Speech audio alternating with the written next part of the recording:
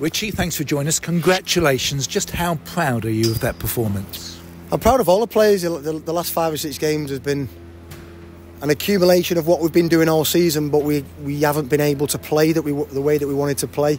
We haven't been able to get certain players. I thought Max Sanders was excellent, Dan Agyei was excellent, but we haven't had them players available. Um, and I also think that it was probably a good time to play Portsmouth because they've just lost Robertson, who, who, was, who, was, an excellent player.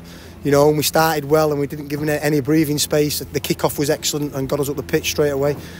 You know, and we, and we pressed him and he, and he couldn't really play through us. He, had a few chances in the first half with a penalty and, and with Bishop's header, but you know, we we had quite a few opportunities to to score a few more goals. So I'm really proud of the players. I thought that, like I said, you worry when you go away to Bolton and, and after nine minutes you're 3 0, you want to see a reaction. I know what my reaction is going to be right at 3 0.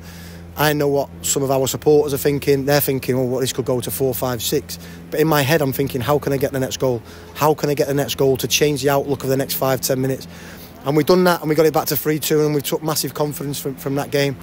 And then we've obviously beat Cheltenham and Charlton and Cambridge, and then obviously come in here, which is which is a tough game, a tough environment, but an environment that that we've learned from in the Bolton game and, and, and took it. I thought I won to 11 today, and then the subs that came on, every everyone contributed, everyone was excellent, and the work rate was, was brilliant as well. Four straight clean sheets and then very good penalty save from Sol Brynn. Yeah, I mean, I'm not sure. I'd have to see it back. I'm not sure it was a penalty if he caught him or not. I think Shaq trying to tackle the space, if you, if you know what I mean. Um, and that was a.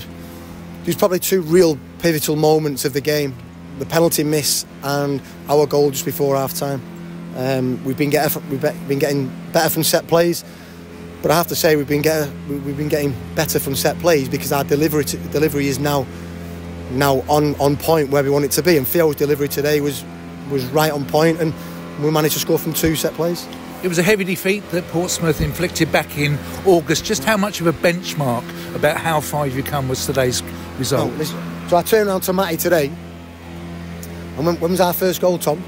30 minutes. 30 minutes. I turned around to Matty after 20 out, 28 minutes and said, we're miles better than these, but it's reminiscent of the game that we played at home. It was never a 4 0 defeat. We should have been in the lead.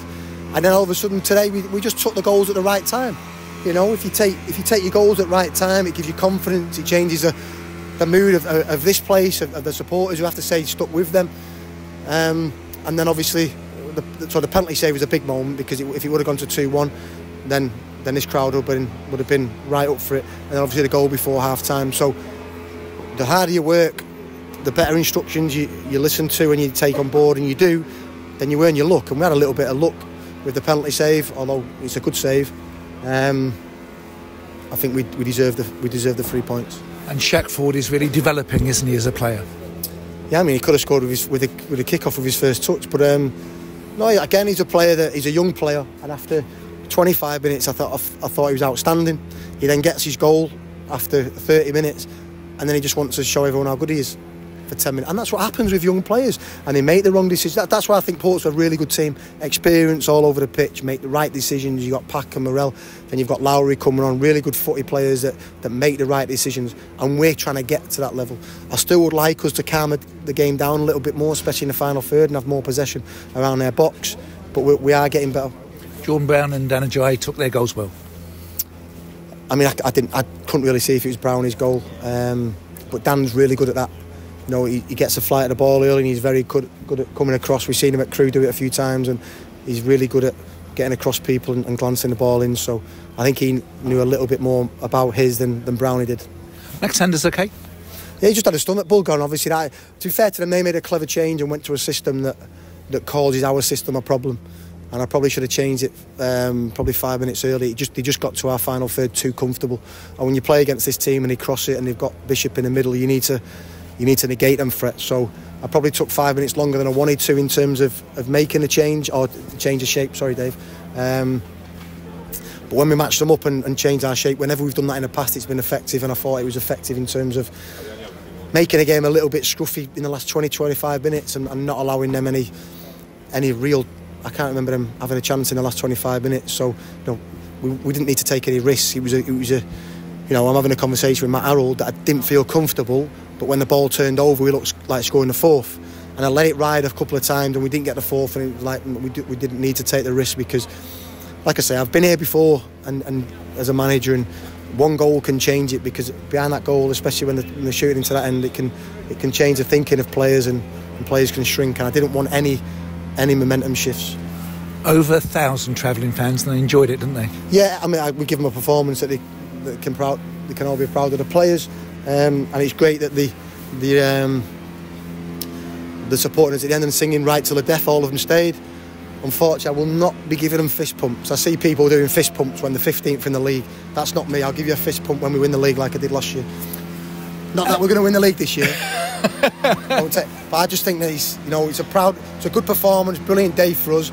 But I'm very, I stay consistent in the, in the way that I work, in terms of performance levels, internal.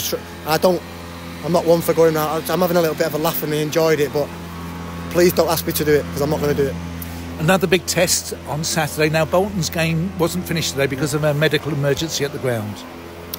I wasn't aware of that until you just told me. Um, so, listen, I don't know. How, how, long did the game go on for?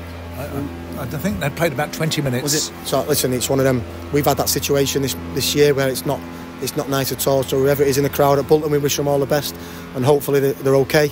Um, you know, brilliant football club. We had a tough test in the first 10 minutes but I think we're a different team. I think we've grown from that. So um, it's going to be a bit, it's going to be an hard game, but it's one that we again we look forward to it. Finally, for me, any comings or goings before the visit of? No, I spoke to I spoke to obviously Tom and George yesterday and Brandon Cooper, who we think will help us in terms of freeing up a loan and being a permanent. Um, I think that would be a good signing for us, and um, maybe also a wide man might come in um, early next week.